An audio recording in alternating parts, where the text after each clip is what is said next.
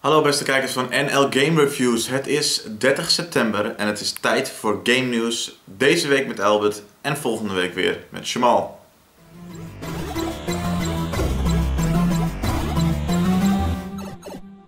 Uh, Blizzard overweegt free-to-play StarCraft 2. Dat zou inhouden dat we de StarCraft uh, gratis kunnen spelen.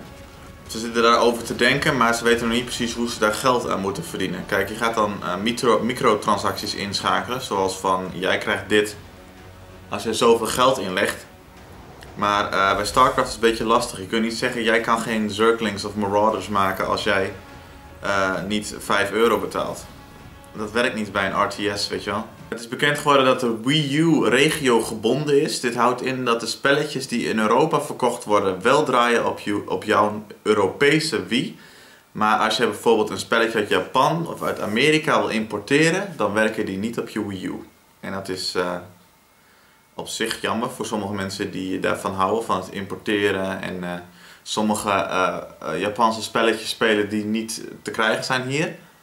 Wie allemaal de film Cabin in the Woods heeft gezien, die uh, een redelijk recente horror slasher tienerfilm, uh, die op zich aardig leuk was, want ze deden wat nieuwe dingen, ik zou het niet spoilen voor je.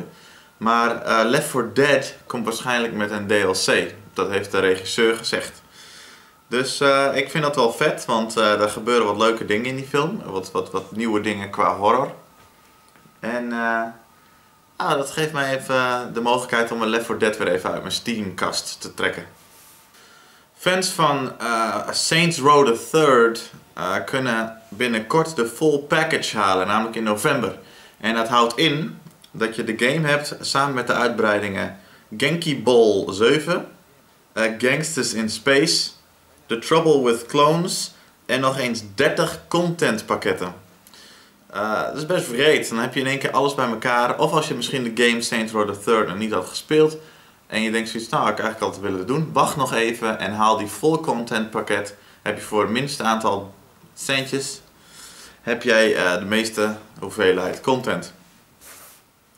Er was ook wat uh, onheil deze week in een afgelopen week. Er was wat onheil afgelopen week in het Sony PR kamp. Er waren namelijk wat mensen ontslagen. En een van die guys heeft gezegd Sony games gaan het gewoon niet redden.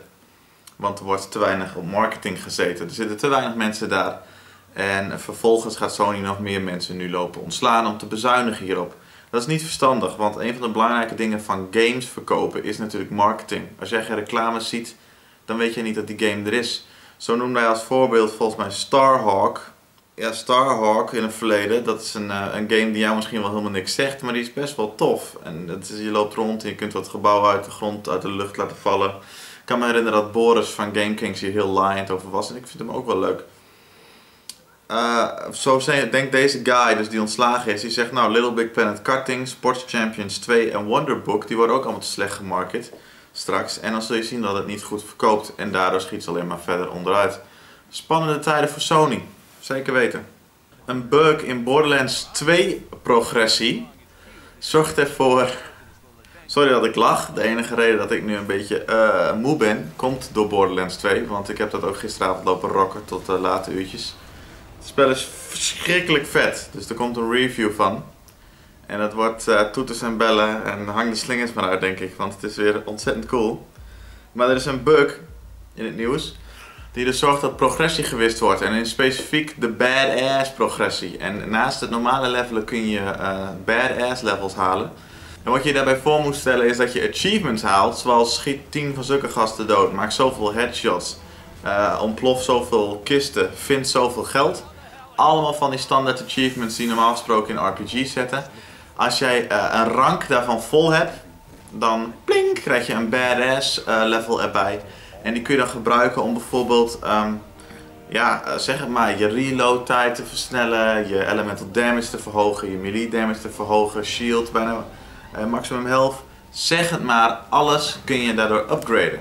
Ik kan me voorstellen dat als dat reset, dat je character een stuk, stuk zwakker is. Ik bedoel, je kunt bijna al je stats, al je dingen waarvan jij sterker wordt, kun je met 3% wel upgraden in een behoorlijk snelle tijd. Dus ja, ik uh, zou er ook boos over zijn. Ik heb het zelf nog niet gehad. Laat dat duidelijk zijn. Ik vind de game nog steeds vet en ik heb nog geen bugs gehad. Nog eigenlijk geen één. Google zegt, uh, hoe goed een game verkoopt kun je een beetje zien aan de zoekresultaten.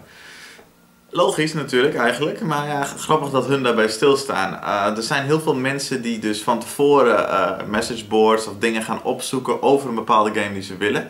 Maar zeker als het uit is, als jullie wel eens naar GameFAQs gaan, waar ik uh, vaak te vinden ben, zul je ook zien welke games populair zijn. Er is altijd een top 10 messageboard.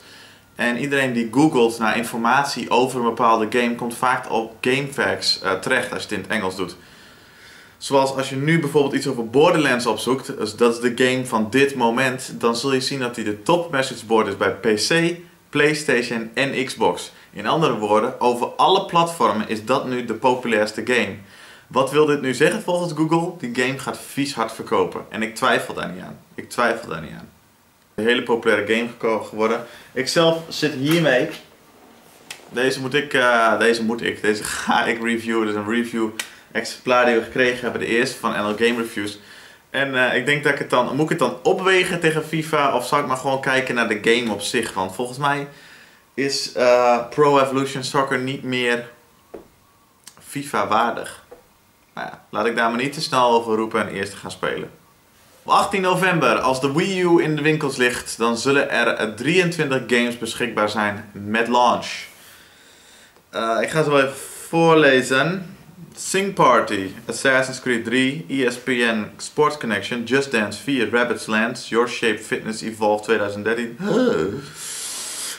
Zombie U, Game Party Champions, Batman Arkham City Armored Edition Scribble Knots Unlimited, Call of Duty Black Ops 2, Skylander Giants, Transformers Prime en Wipeout 3. Verder verschijnt ook nog eens mm, Epic Mickey 2, FIFA 13 Tag Tournament 2, Sonic All-Stars Racing, Transforms, Warriors, Orochi 2, Hyper Darksiders 2, Pikmin 3, Rayman Legends, Lego Cities, Undercover 007 Legends. Er komt nog veel meer. Wat dat betreft, dat ziet eruit als een aardig goede launch van de Wii U. Daarnaast kun je natuurlijk al je Wii-crap gebruiken nog op de Wii U. Dus je hoeft ook niet gelijk allerlei dure rotzooi aan te schaffen om die shit te spelen. Zoals balance boards en nunchucks, die draag je gewoon over. Uh, wordt heel interessant om te kijken wat hij gaat doen. Ik zelf ben helemaal nog niet uh, enthousiast daarover. Maar... Uh, een remake van Resident Evil 2 is mogelijk met steun, zegt Capcom. Ik weet niet precies of het nou gaat. Nou ja, ze weten nog niet precies of het gaat over een HD remake waarin de textures wat opgekrikt zijn. Of dat ze hem echt volledig willen remaken.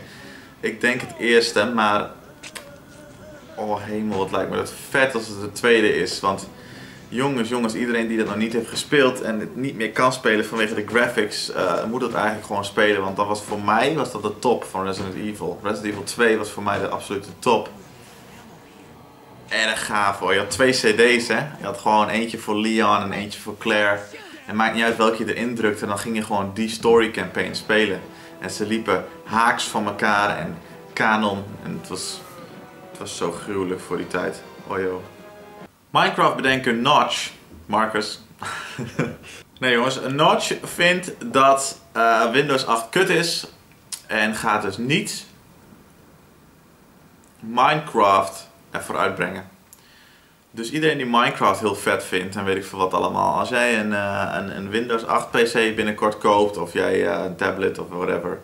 Tegenwoordig allemaal wel iets hebt met Windows 8. Of jij zat te denken om over te gaan op Windows 8. Als jij Minecraft speelt moet je dat niet doen, want Minecraft kun je er niet op spelen. Hierdoor wil ook Notch echt ervoor zorgen dat mensen niet uh, Windows 8 gaan gebruiken. Want hij vindt dat het PC gaming ruïneert.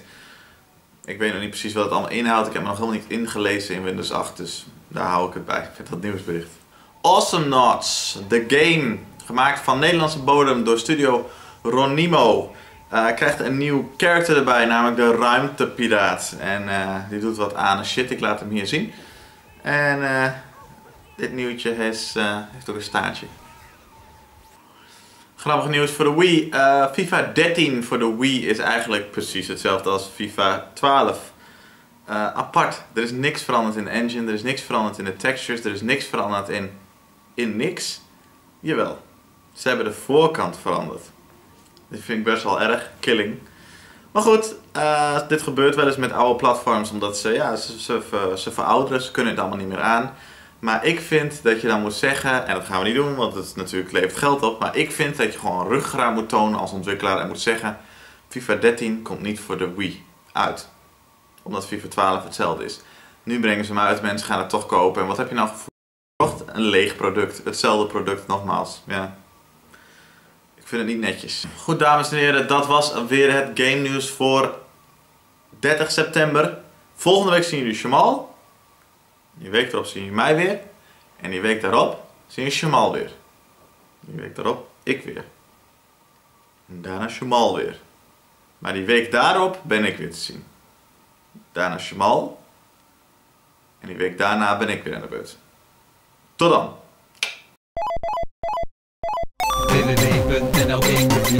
Gamerviews.nl Klik op en check die shit snel. Ben je gamer, je moet me geloven. Check die shit tof, game over. www.nl Gamerviews.nl Klik op en check die shit snel. Ben je gamer, je moet me geloven. Check die shit tof, game over